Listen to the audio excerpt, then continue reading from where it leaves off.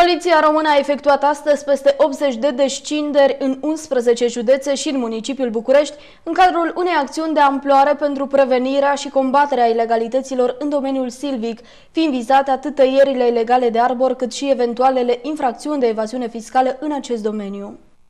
Acțiunea s-a desfășurat sub coordonarea de specialitate a Direcției de Investigare a Fraudelor din Inspectoratul General al Poliției Române și a Direcției Generale Antifraudă Fiscală din cadrul Agenției Naționale de Administrare Fiscală, fiind angrenați polițiștii din cadrul Direcției de Ordine Publică IGPR ai Inspectoratelor Județene de Poliție din Vrancea, Bacău, Brașov, Covasna, Dâmbovița, Harghita, Neamț, Prahova, Suceava, Argeș, Buzău, precum și de la Poliția Capitalei, sprijiniți de jandarmi, se arată într-un comunicat postat pe site-ul IGPR. De asemenea, la activități au participat și specialiștii din cadrul Departamentului pentru Ape, Păduri și Piscicultură, respectiv a inspectoratelor teritoriale de regim silvic și vânătoare din subordine. În activități au fost angrenați 200 de polițiști, 150 de inspectori silvici, 140 de inspectori antifraudă fiscală din cadrul DGAF, 66 de comisari din cadrul Gărții Naționale de Mediu și 23 de jandarmi. Potrivit aceluiași comunicat, se fac verificări verificări pe tot circuitul de la tăiere la prelucrarea și comercializarea lemnului, fiind efectuate controle în teren, precum și asupra tuturor documentelor existente.